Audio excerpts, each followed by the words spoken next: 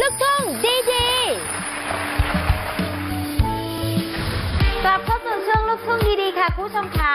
วันนี้เราจะอยู่กับนักร้องหน้าหล่อเสียงดีพี่ออฟสุพนัทของเรานั่นเอง ห่างหายจากงานเพลงไปถึง 4 ปี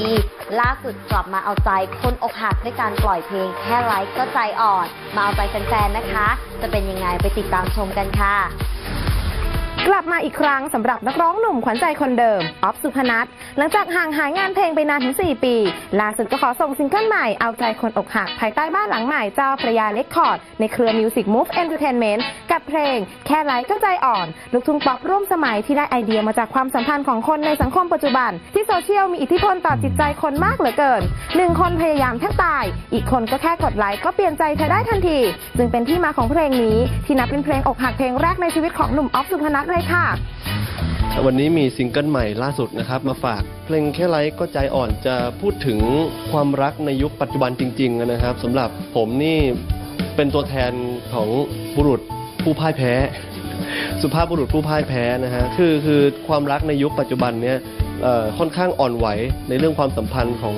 ของโลกโซเชียลอะไรอะไรก็โลกโซเชียลมีอิทธิพลมากมาย ถ้าเกิดวันนี้ยเราไปมอบ ความทุ่มเทแรงกายแรงใจให้กับคนที่คนที่รักอย่างเงี้ยด้วยวิธีเดิมๆ ก็อาจจะไม่สู้แค่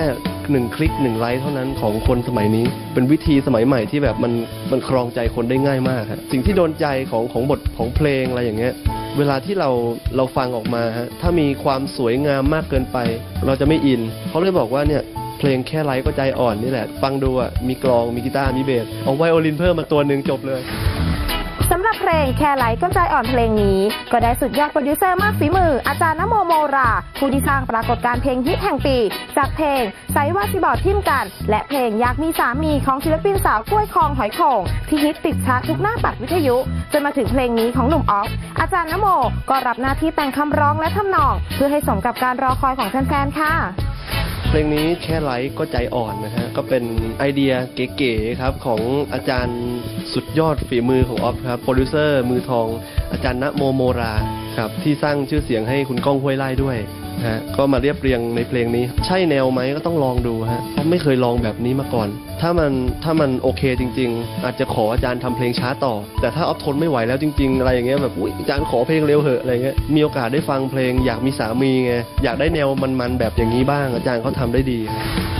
พูดคุยถึงการทำงานเพลงกันไปแล้ว เราย้ายมาพูดถึงเบื้องหลังของการถ่ายทำมิวสิกวิดีโอ แค่ไลก็ใจอ่อน ที่เป็นการถ่ายทอดเรื่องราวของมิวสิกซีรีส์บรรยากาศถ่ายทำเป็นอย่างไร มีส่วนร่วมอะไรกับเพลงนี้บ้าง เล่าให้ฟังหน่อยสิคะ การถ่ายทำนี่นะฮะก็เราจะไม่ได้เรียกว่าเป็น MV ธรรมดา แต่เราเรียกว่าเป็นมิวสิกซีรีส์ตรงที่ว่าเขาจะถ่ายออกมาเป็นเรื่องเป็นราว เพื่อการตัดต่อให้คนงงบ้างเข้าใจบ้างอะไรอย่างเงี้ยแต่ดูแล้วเหมือนดูหนังเรื่องหนึ่งนะฮะ พร้อมๆไปกับเพลงที่เราแบบเป็นเพลงดราม่าแบบนี้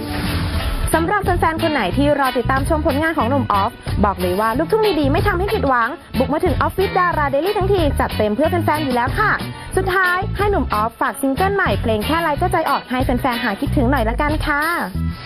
ครับแค่ไลค์ก็ใจอ่อนนะฮะ เป็นซิงเกิลใหม่ล่าสุดที่เป็นจุดเริ่มต้นที่ดี เราตั้งใจมากในการทำเพลงนี้ แล้วก็สามารถ ติดตามให้กำลังใจติดตามชมกันได้นะครับ ในแฟนเพจนะครับของอ๊อฟด้วยศุภณัฐนะฮะ แล้วก็เจ้าพญาเรคคอร์ด หรือคลิกเข้าไปดู